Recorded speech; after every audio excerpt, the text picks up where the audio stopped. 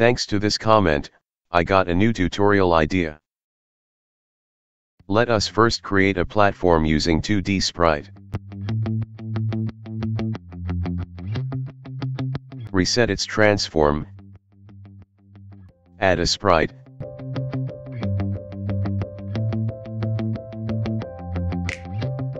And a box collider.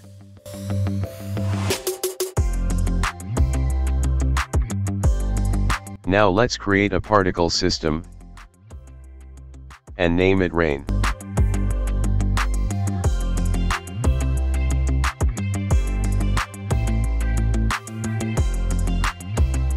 First change the material to Sprite's default.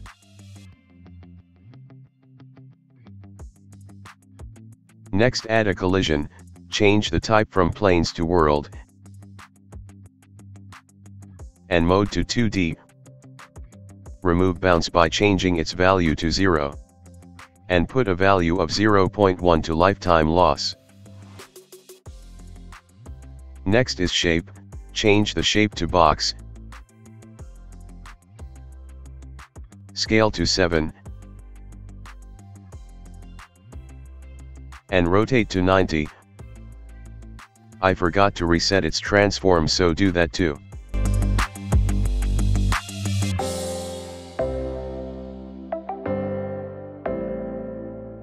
Now change the start size to 0.1, this depends on you if you want it to be bigger or smaller water drops. Also duration to 1, and gravity modifier to 1, use higher gravity if you want your rain to drop faster. Next is emission, change the rate over time depending to how much rain you want, I will put 30.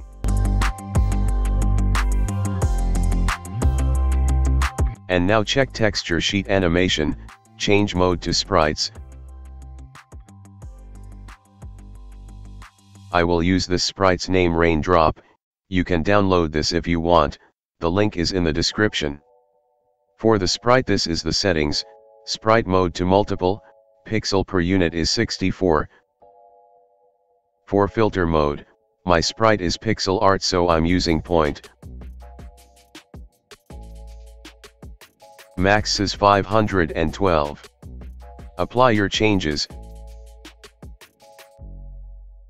Next open your sprite editor.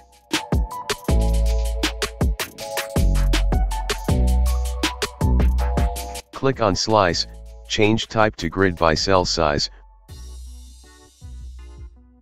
Pixel size is 64 by 64, and pivot to bottom, then click slice and apply.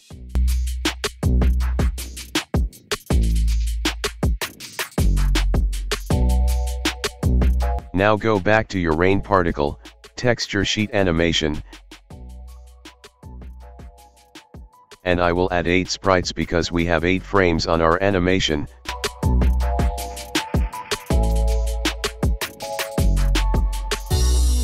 Then add all sprites in order.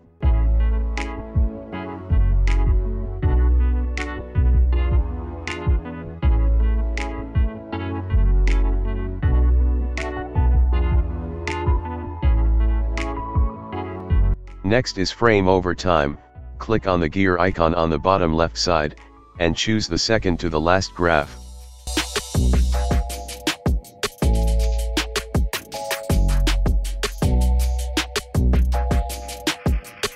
Change the color the way you want. Last thing I will add a player just to show how it will look like when there is a moving object. Give your object a sprite and a collider.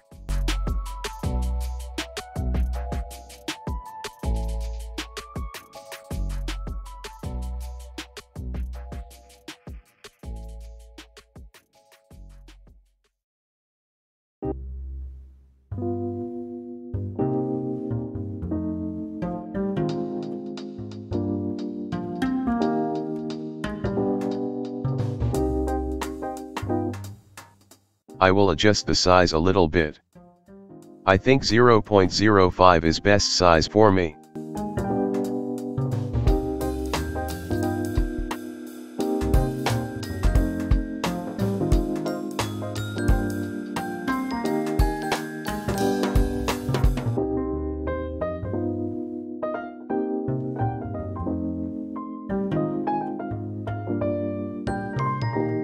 And that is all, thank you for watching.